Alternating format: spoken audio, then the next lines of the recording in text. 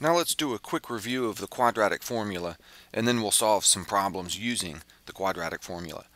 If you have a quadratic equation in this form, ax squared plus bx plus c equals 0, then you can solve it with the quadratic formula. And any quadratic equation can be put into this form.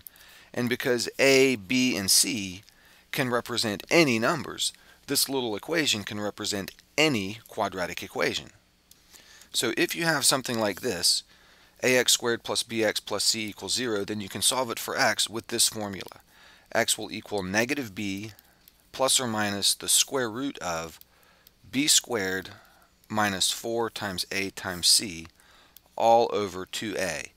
So you just take these values for a, b, and c. Those will be numbers, the coefficients from your quadratic equation and plug them into this formula and you'll get an answer. You, you actually get two answers because of the plus or minus right there and those are the values of x which satisfy the original equation.